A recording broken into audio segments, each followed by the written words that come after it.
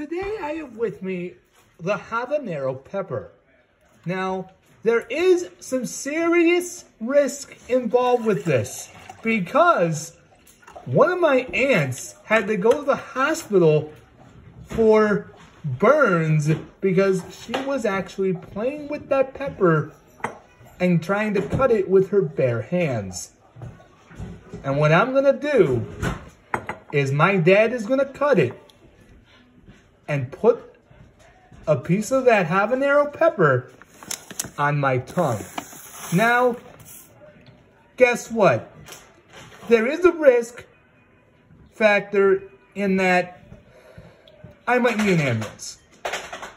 If I say Mayday, Mayday, Mayday, that is the code word for get me an ambulance now. So,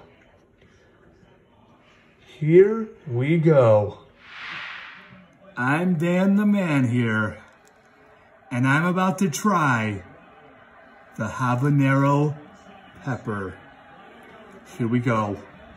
On the count of three. One, two, three. Shoot. Oh! oh! Mm. Let's shoot. Oh! Hold on. You don't have a nice face. Oh! My gosh! Oh my gosh! Mm. Mm. Oh!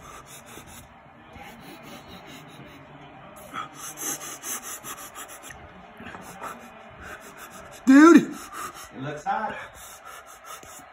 Dude! Mayday! Mayday! Mayday! Mayday! Get me an ambulance!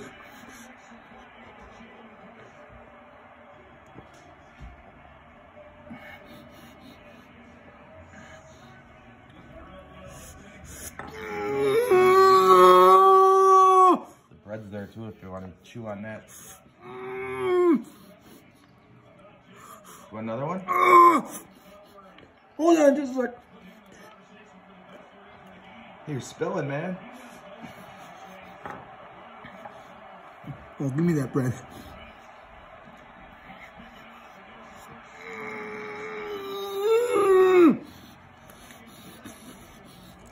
Oh, oh, oh.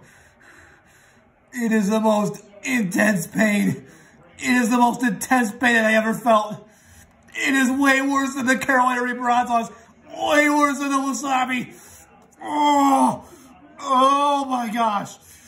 Oh, oh, oh, oh, Mama Bear, you better call 911. I think I need the ER. I am not even kidding you. I think I need the ER.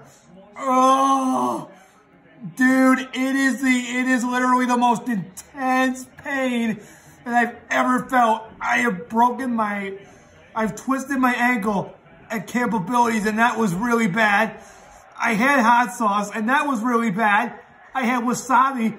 That was even worse. But this, oh my, oh, it is the worst pain and if not the spiciest food I have ever tried.